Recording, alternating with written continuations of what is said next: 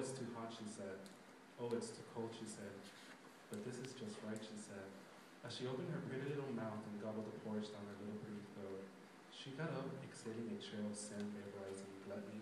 I have never seen a her this way, just taking and taking and taking. My nourishment gone, my log has a mess. Amazed at her counterfeited caress, I saw this culprit in my bed, laying, waiting for someone, not me, for her little white self to be found.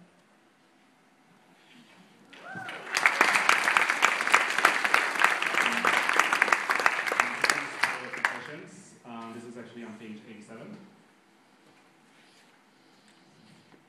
I found a reason to finally handcuff myself to bed every morning with sounds and verity, seizing cuffs and morning bands.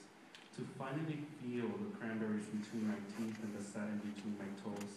Abnormalities of hornies and soft Satan berries clearly scream below my nose. I tie myself with phallic nouns and advertise haste for conversation. Wrist lined to post with tenacity while months practice vice and castration. I found a reason with first power for every Friday to shower.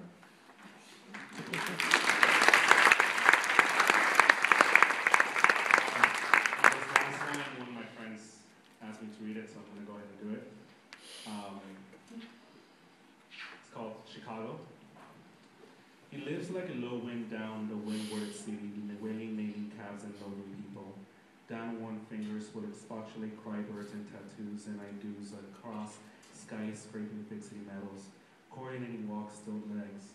Frazzle nails, drizzle moments dissolve through low perched trees, encounter counter, counter, counter counterways of his late brick club plastered tower. His wrists rising frisky palms search adulation, admiration for contextual intercourse and titillation. With lights harping translucent time, he X searches invented motives and translation of lifeblood, spitting adjacent red violets in an watt of the city bowel movement. Disconnections of his lowly inner and highly outer match descending glass masses of this in this sepulchral city, and I speak. You will live in the breeze of Illinois.